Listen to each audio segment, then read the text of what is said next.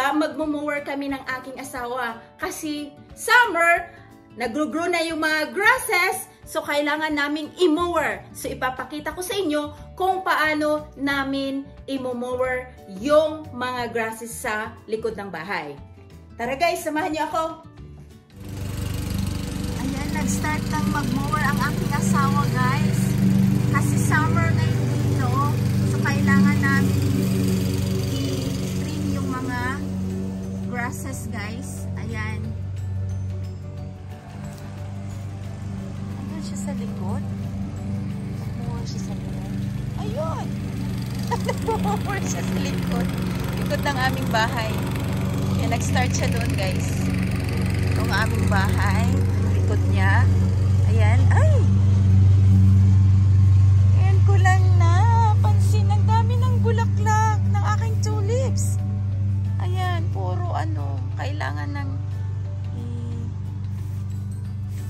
tanggalan ng mga sagbot, naghanag sagbot. Uy! Ayan, nabuhay ang aking ano. oh. Ganda naman ng aking asawa, guys. Yan. Nabuhay na buhay na ang aking puno, kunting puno dito. Pang-abog ng lamok. Yan. Abog ng lamok.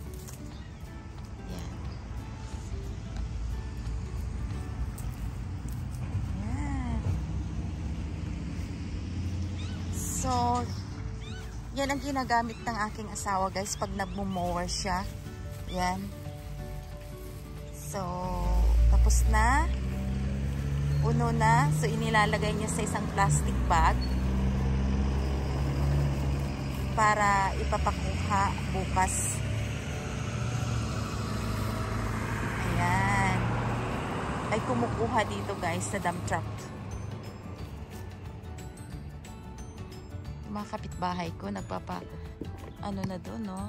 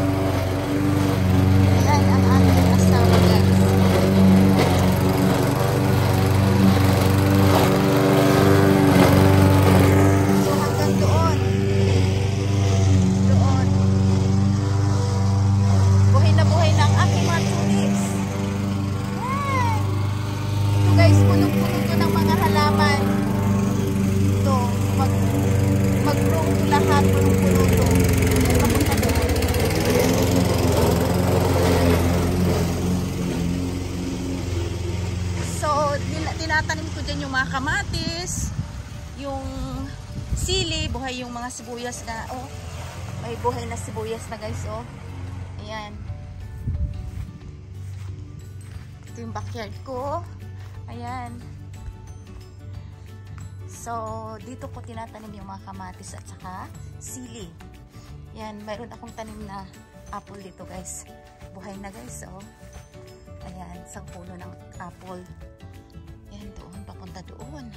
Hindi ko pa natapon yan. And ito yung raspberry guys, nabuhay na. Ayan. And blueberries, dalawang puno. Ayan. And ito yung aking pine tree. Ayan. Grabe. Di kasi naaasikaso. So, ngayon pa nagka... Ito guys. Ganda naman ng tulips na yan. Ay, ganda-ganda. Yan yung purple. Yan. May pula din. Kulay. Okay, so, ganda-ganda. Ayan. Rarami pa yan, guys. Pag maulanan, dadami pa yan. Ayan. Hmm, ayan. Magka-climb yan, guys. Ang ganda yan tignan. Magka-climb papunta doon sa aking arko. Ayan, yung aking arko. Ayan. So, dadami pa rin yan. Ito. Then, taas na nang nilinis ng aking asawa. Doon na siya, sa likod. Likod ng bahay.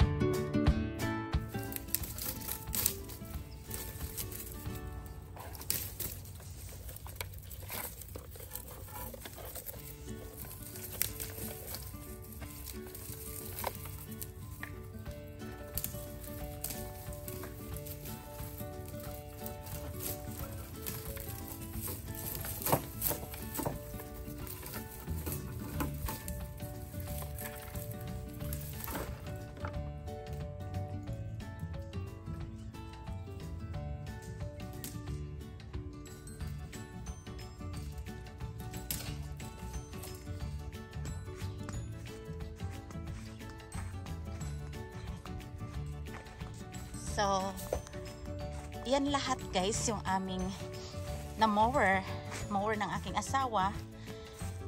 So, bukas guys, kukunin dito ng dump truck. Ayan. So, may time o araw na pagkukuha ng mga ano, damo-damo. So, katatapos lang naming mag-mower guys. Ayan. Magpahinga na kami. And, uh, ayan yung aking asawa guys. Tignan nyo. Busy na sa kakapindot ng kanyang cellphone. Papahinga. Habang hinihintay niya ang aking linutong mais. Nagluto ako ng mais guys para sa aming agahan. Ayan. So kumukulo-kulo na ang aming mais. Ayan. Masarap to guys. Sweet. corn. Ayan. Alam niyo kung magkano isa guys? $1. Ko-convert natin sa Pilipino. Lagi kong kino-convert. Masakit man. Pero kailangan kainin. Kailangan bilhin. Ayan. Uh, 42, 43. So, ang isa is $43. Ayun. Ay, 43 pesos. Convert to. Kasi $1. Ayan. Habang hinihintay ang maluto, ayan, kumukulo-kulo na. Hintay guys ng mais. Ayan. Kainan na. Ayan. Ito ay sweet corn. After nag-mower, nagutom si Dodong.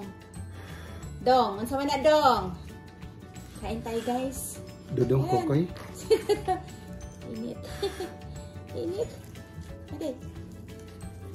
Yun. Guys, oh. Mmm. Tikman natin. ah. Ang gamis. Kasombrero pa tayong dalawa. Mmm. Ay, sarap. Sweet corn talaga. Mm-mm. Minsan yung ibang binibinta nila, puro puti. Hmm. Malagkit yun, no? Mm. Sarap. Kaya hindi ko tinanggalan ng ano guys, buhok at saka yung balat. Kasi iinumin ko yung tubig niya. Mm.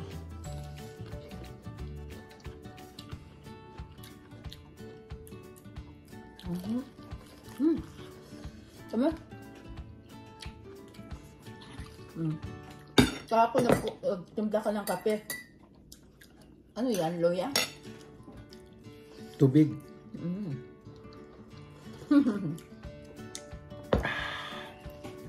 Lubog na nga.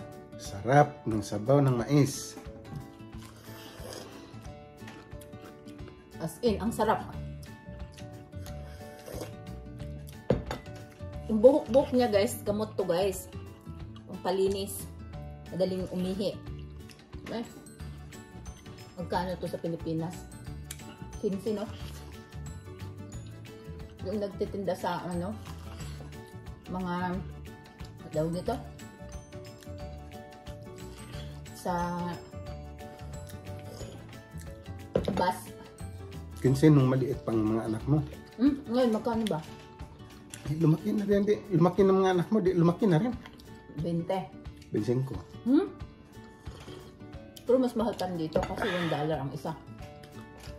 Pag marami Sa bilhin SM siguro ang ganito, 50. Ah, kasi na ano nila. Yung may margarine. Hmm, nilalagyan ng margarine. Supposed to be guys, nilalagyan ng margarine to. Yung mga employer ko noon, pa- hapunan namin mais, nilalagyan nila ng margarine. Ni akin, okay lang kasi matamis na. Mm. Butter. Sarap ng tubig ng sabaw niya. Galing talaga kami nag-mower guys, nakasombrero pa kami. Mm. Linis ko kumain, eh. Huwag mong itapon yan ha. Bakit? Gamitin pang ilo. Sa Pilipinas, idradry pa pang ilo. Never kong na-try mag-ilo ng ganito eh. Kasi ikaw na-try mo na. Hindi lang isa tatlong beses. Saan? Sa Katipunan? Samlang?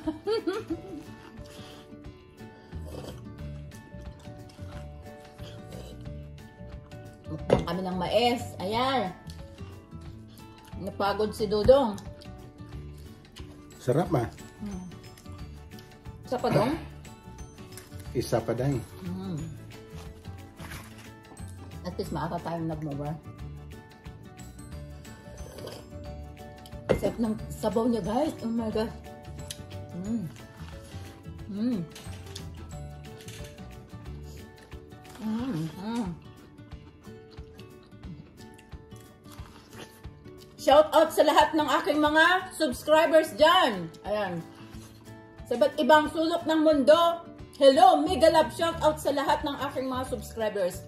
So ngayon guys, papunta na kami sa licensing, kukuha kami ng insurance para sa aming dalawang bahay kasi gagamitin ito para pagpa-compute ng aming mga tax. Ayan guys, samahan nyo kami kasi ituturo ko sa iyo o ipapakita ko sa inyo kung paano kami magpapa-compute ng aming mga tax dito sa Canada. Ayan, tara! So, papunta na kami ngayon guys sa licensing kung saan doon yung aming insurance. Doon kami kukuha ng insurance namin, statement of account na kung saan yung binabayaran namin sa isang taon last year. So, kailangan to sa pagpapakompute ng aming tax. Ayan. So, after that, pupunta kami sa bangko. So, dito guys, sa licensing center, dito kami kukuha ng aming, uh, you know guys, mga license sa sasakyan and da, nandito sa loob yung Wawanisa na separate guys, yung Wawanisa na company or agency.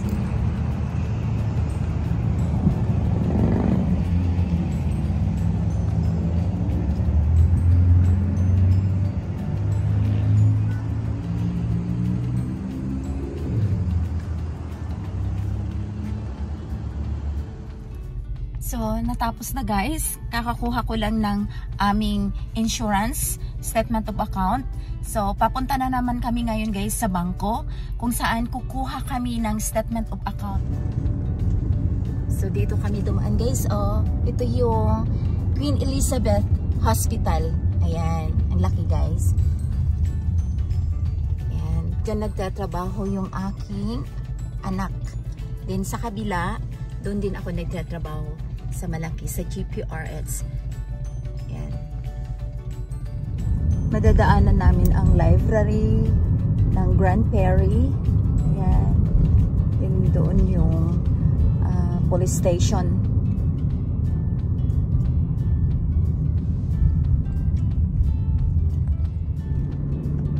Ang laki ng bahay dito.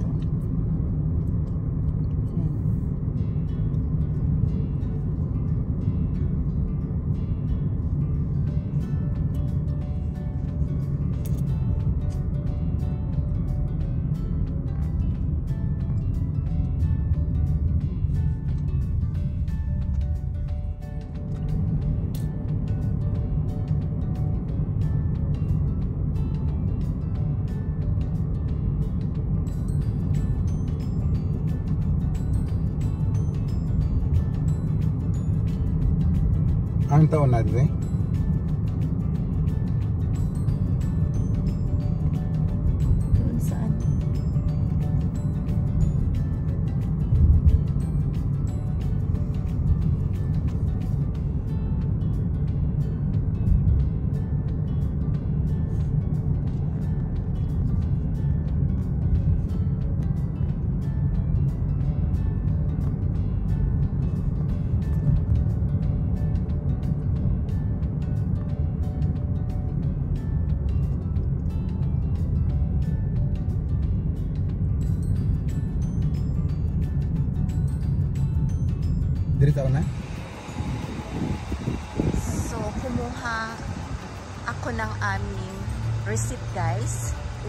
Guys. Nagpapacheck up kami dito ng aking asawa.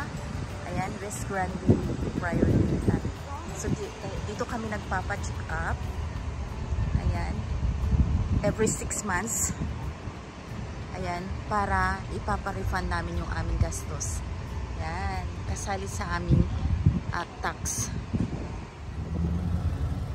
So, andito kami ngayon guys sa bank, sa CIBC Bank. Kukuha ako ng statement of account, mortgage statement account. Gagamitin namin sa pagpa-compute. Ayan.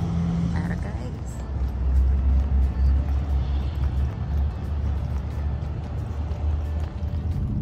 So, kompleto na kami ng mga requirements guys for our tax computation.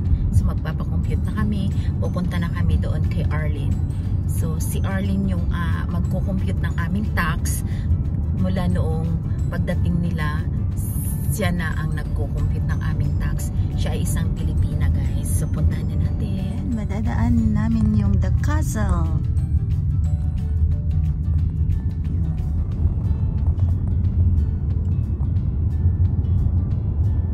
Ganda pala dito pag summer.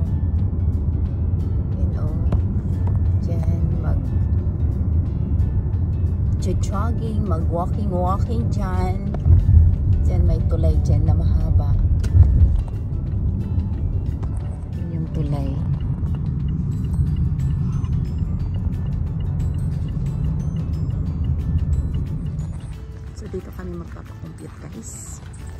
Arlene.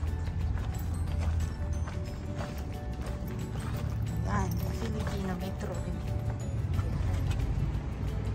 Flag ng Philippines. So, tambayan. Ito, Filipino tambayan. Wala nang tambayan. Tambayan, tatambay na kami dito. Ayan, dito na. It's okay. Yun si Arlene. Yung magko-compute ng aming tax. Tapos na kaming nagpa-compute guys kay Arlene. So ako ay may refund yung isang anak ko kasi nag-work sa government. And yung aking asawa naman ay mayroon siyang owing kasi na, nag-work siya sa private. Kunti lang yung kinakaltas sa kanyang sahod. Ayan. So, ito na guys. Hinihintay na lang namin o hihintayin na lang namin ang aming refund papasok sa aming mga account. Ayan.